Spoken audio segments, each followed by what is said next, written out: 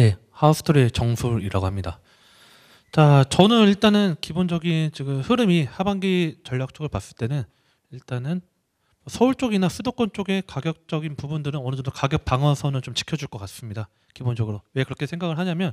지금 뭐 새롭게 지금 신규 분양이나 또는 뭐 삼기 신도시도 지금 이제 공사나 그런 시작들이 앞두고 있고 좀 지금 뭐 정비지구나 정비사업지 같은 경우도 좀 많이 좀 진행을 하려는 것들이 있는데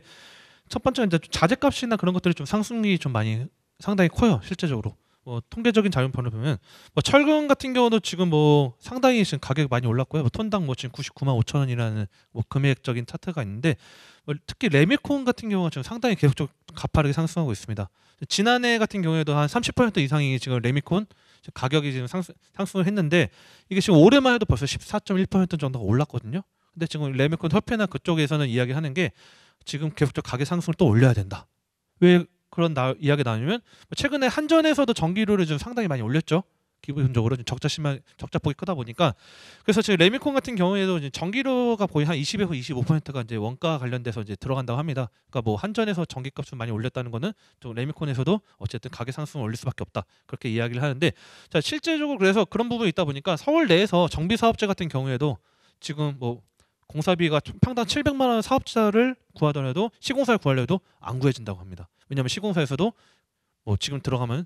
계속 가격 상승 때문에 이익이 나지 않다 보니까 그러니까 제가 볼 때는 지금 거의 뭐 3.3 제곱미터당 거의 평당 천만 원 공사비 시대가 이제 곧 다가오기 때문에 그렇다고 하면 기존에 있는 아파트나 그런 것들이 뭐 신규 분양을 새롭게 한다고 하더라도 가격을 분양가를 낮춰서 진행하기는 좀 어렵다는 거죠. 물가 인상률도 있긴 하지만 그렇다면 당연히 뭐 자, 건설 자재값도 있고 그런 부분이 있기 때문에 수도권 같은 경우에는 좀 상당히 신규 같은 경우도 가격이 높으면 기존 주택 같은 경우에도 분양가가 높게 나오면 같이 어느 정도 따라갈 수밖에 없거든요. 상승 여지가 있기 때문에 자 그런 부분들이 있고 지방 같은 경우에는 오히려 뭐 좀 인기도가 없는 지역들 뭐 청약 같은 경우도 좀 양극화가 심하다고 하는데 뭐 지방 같은 경우에는 오히려 좀 스탑되는 공사가 스탑되고 아예 안 하는 그런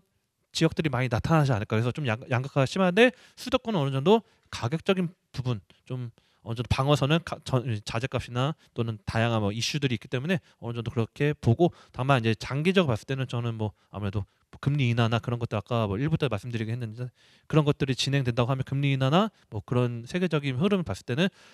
부동산 시장에서는 긍정적인 요소 나타났기 때문에 뭐 다시는 또 상승하는데 하반기 때는 어느 정도 수도권은 방어적 지방은 좀 더 하락이나 좀 정체되는 게 좀 크지 않을까 이렇게 좀 생각이 들고 있습니다.